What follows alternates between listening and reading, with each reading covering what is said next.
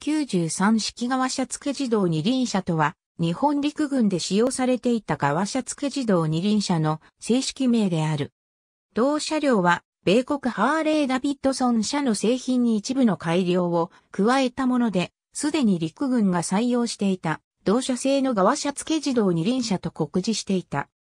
第一次上海事変において、側車付自動二輪車を運用する海軍陸戦隊の機関渋滞陸軍では従来、米国製車両を使用していたが、日本内燃機株式会社及び、シシドオートバイ株式会社による国産民製品の製造開始により、これらを昭和8年1月より正式採用に向けて陸軍技術本部が比較検討開始。両社より各4両購入し走行試験。性能十分なるも多数の改良が必要との結論。同年11月、各部修正済みの両社製品各1両を購入、実装試験を行う。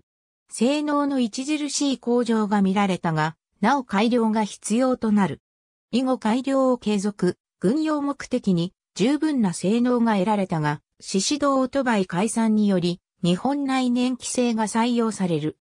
ハーレー・ダビッドソンの製品より地上高を増大させ、不正地における走行性能を向上させたほか、発動機及びドライブトレインに若干の改良あり。